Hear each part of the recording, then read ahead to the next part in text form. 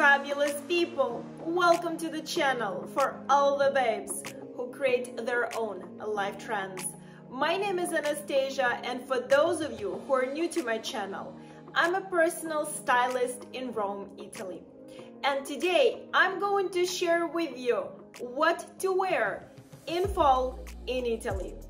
This has been one of the most requested videos on my channel lately and I'm so happy to finally sit down and share all the information with you. I will break it down to you by months, so by the end of this video, you will know exactly what to pack for Italy in fall, as well as some Italian style tips and tricks for all my fashionistas out there. Now, before we begin, please remember to smack that like button.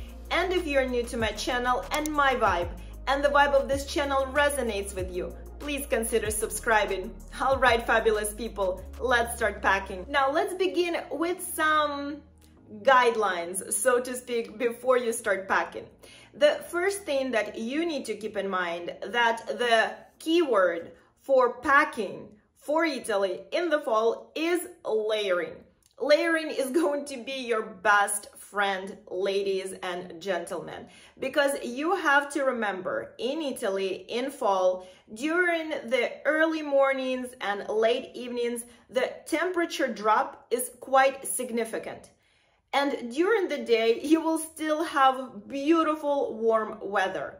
And of course, one thing that you need to keep in mind that the more up north you go, the more drastic temperature change is going to be between early morning, midday, and evening. So you have to keep that in mind when you start packing for Italy. Another tip that I have for you as a stylist is before you put everything into your suitcase, make sure that all the items are easily mixed and matched between each other. It is very important so early in the morning you don't have to stand in front of the mirror trying to figure out what to wear, what goes with what. And the golden rule, my styling tip that I always recommend to all of my clients is to make sure that for every bottom, you have at least three different top options. All right, now before we transition into the months, specific months, let me also mention what not to wear in Italy so you can save some space in your suitcase. All right, so number one, outdoorsy outwear. And I'm talking about things like North Face, windbreakers, or ski jackets. Italians simply do not wear those things unless of course they're going hiking or skiing but in big cities wearing those things are a big no-no. The second thing I know, I know. Activewear.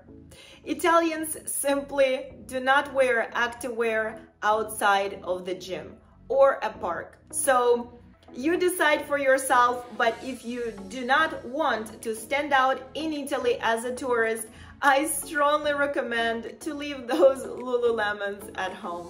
All right, guys, number three is a baseball hat. Yes, baseball hat in Italy is also worn just like an activewear in the gyms. So I'm just a messenger. You do with that information what you guys want to, but this is just something that I would keep in mind when packing for Italy. And number four is a pair of leggings. Another item that is so commonly worn in the US or Canada outdoor, but in Italy is not common. You do not see a lot of Italian women wearing leggings outside. Now let's talk about what to wear in Italy and break it down by months. Let's begin with September in Italy. September, just like October, are two busiest months of the year for Italy, and mainly because of its weather. It will vary a bit from north to south, but most of the days you will still feel like summer without the humidity of August and rain showers of November. Overall, don't expect much rain, if any. So for September, I recommend to pack more or less a summer wardrobe, especially if you're traveling to Italy the first part of September. That means make sure that you're packing linen shirts, t-shirts, pants, summer dresses, sandals, and if you want more details on exactly what to pack, then I have an amazing video guide for you what to wear in summer in Italy that you can use as a reference as it has all the details. The second part of September is very similar to the first part, so definitely make sure to pack all those items that I just listed the only difference is that in the evenings, you will definitely feel the temperature drop. So in addition to those items, I do recommend to pack some warmer options like a light cardigan or a scarf to cover your shoulders during the evening time. Now let's talk about October in Italy. If you're traveling to Italy in October, let me tell you, you guys are definitely in for a treat. Of course, temperatures do vary from north to south again, but overall, you will find sunny days and pleasant temperatures, which makes it a perfect weather for sightseeing in Italy. So with that said, for the first half of October, I would definitely pack a nice mix of clothes as the days will be pleasant and warm and then the temperature will start to drop quite significantly during the evenings. So make sure that you bring a good mix including t-shirts, light shirts, cotton pants, jeans, loafers, and then for the evening times, I would definitely pack blazers and cardigans. Now in the second half of October, the rain tends to be more frequent. Usually, these are short showers, so you can always use this time to explore a museum or a church. For this part of October, you will need an umbrella, which most hotels and Airbnbs will provide for you, and a trench coat, a cardigan, and or a blazer. Definitely don't forget a pair or two of tennis shoes, loafers, and or boots. This is also a perfect time to start wearing a leather jacket if you have one, or of course you can get one here. And if you want to follow Italian fashion, then I strongly recommend to pack some scarves, as you will see a lot of Italian men and women incorporating scarves into their fall wardrobe. So during the second half of October, you will see people wearing warm jackets, leather jackets, trench coats, and at the same time, people who are wearing t-shirts and shorts. So you will see all kind of fashion, big mix, but what I recommend for you to pack is a nice mix of clothes but more on a warmer side. Now for all my fashionistas out there who love Italian style and wonder how to dress like an Italian, please keep in mind that Italians dress seasonally. And that means you will not see Italians in October wearing shorts or sandals. By that time of the year, they fully transitioned into fall winter attire and that means pants, jeans, nice warm tone sweaters like beige, brown, and of course loafers and boots. Now as a stylist let me give you my professional opinion on boots because a lot of you ladies reach out to me and ask me Anastasia when is it acceptable for me to pack my boots for Italy?